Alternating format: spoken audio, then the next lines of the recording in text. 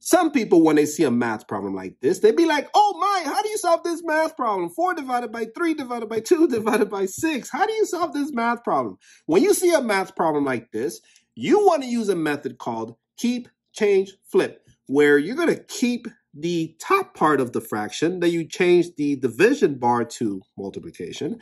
And lastly, you want to flip the bottom part of the fraction. So let me go ahead and show you that. So first things first, we keep the top part of the fraction and we want to turn this 4 divided by 3 into a fraction because we want to make the math easy. So we write 4 and I am running out of ink.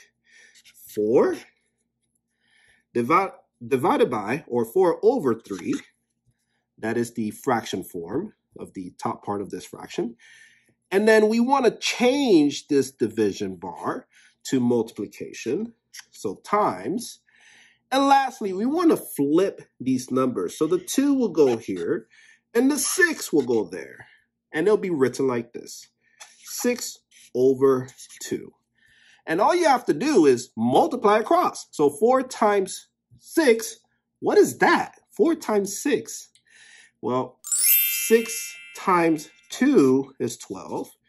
And 6 times 2 again is 12. And when you add these two numbers, they give you 24. So we have 24. And then over 3 times 2, hmm, that is 6. And now we have an improper fraction, 24 over 6. And we need to break this down or, tur or turn this improper fraction or turn it into its simplest terms. So what we can do is divide by 2 because the top number is 24. It's an, an even number. And the 6 is an even number. So we can go ahead and divide by 2.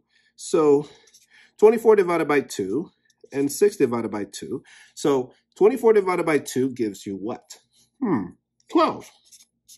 Over 6 divided by 2 equals 3. And now we have 12 over 3. And let's go ahead and keep breaking it down. So 12 divided by 3, or 12 over 3, we can divide by 3. So 3 divided by 3 gives you 1. And 12 divided by 3 gives you 4, because 4 times 3 equals 12. And we know that 4 over 1 equals 4. So your answer is 4. And there you go.